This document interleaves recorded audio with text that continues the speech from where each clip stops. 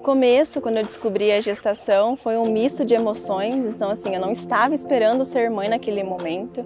Fiquei com muito medo. E aí, quando ela nasceu, que eu ouvi o primeiro choro dela, para mim foi uma emoção muito grande. É, pegar ela no colo, dar de mamar. Então, para mim, ser mãe mudou completamente a minha vida. Foi o único sonho da minha vida que eu não medi esforços para realizar. Eu vejo que eu sou o conforto na vida da minha filha na hora que ela acorda. Quando ela acorda, ela fica mamãe, mamãe, mamãe esperando. É, eu vou até a caminha dela, pego ela e eu vejo que é onde que ela tem sempre o meu conforto.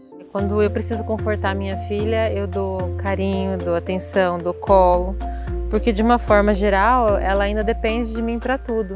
Então eu procuro estar sempre por perto, acalentando ela do melhor jeito possível. Hoje ela já está numa fase maior, né? O conforto nosso é às vezes sentar, tomar um café, às vezes até sair de carro. Então é o nosso momento. E ela é muito carinhosa. Eu percebo que quanto mais eu retribuo com carinho, ela é mais carinhosa ainda. Por exemplo, um eu te amo, ela fala, ela me dá muitos beijos, muitos abraços, fala que eu sou a melhor amiga dela. Então, essas é, é as coisas que ela mais fala para mim. Hoje eu acho que ela me conforta muito mais. Ela me mostra, às vezes, onde eu erro, ela me mostra, muitas vezes, o meu valor. É, esse é o conforto que ela me dá. Ela me dá conforto com o olhar, com o sorriso, com a mãozinha no meu rosto. eu me sinto uma grande mulher depois que eu me tornei mãe. Eu vejo que isso foi necessário na minha vida.